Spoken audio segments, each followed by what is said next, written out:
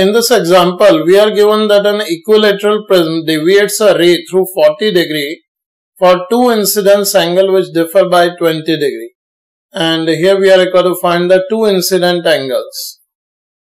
Here uh, we already studied that in case of a prism, when a light ray incidents at an angle I on one matte surface of the prism and correspondingly if the light ray leaves the prism at an angle of emergence E and correspondingly if there exists a deviation angle delta by which the light ray is totally deviated then uh, according to reversibility of light when I becomes E the value of E becomes I which was uh, initially there.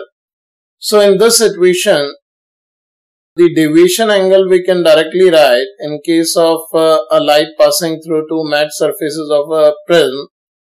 Deviation angle can be directly given as I plus E minus A. This we already studied. And I and E are interchangeable. That means when I becomes equal to E, then that time the value of emergence angle is equals to the initial incidence angle.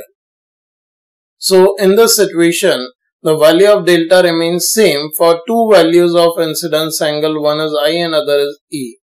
So here as it is given in the problem that two incidence angle differ by 20 degree for which the value of uh, delta is 40 degree. So we can write i plus e is equals to delta plus a and as for equilateral prism uh, the prism angle a is equals to 60 degree.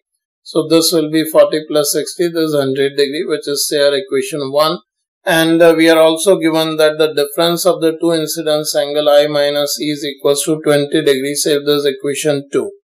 Now in this situation if we add the two equations so we can see we are getting 2i is equals to 120 degrees so the value of i is equals to 60 degree and as i plus e is 100 degree and if i is 60 degree that means the value of e will be 40 degree. So these are the two incidence angles for which the deviation angle will remain same.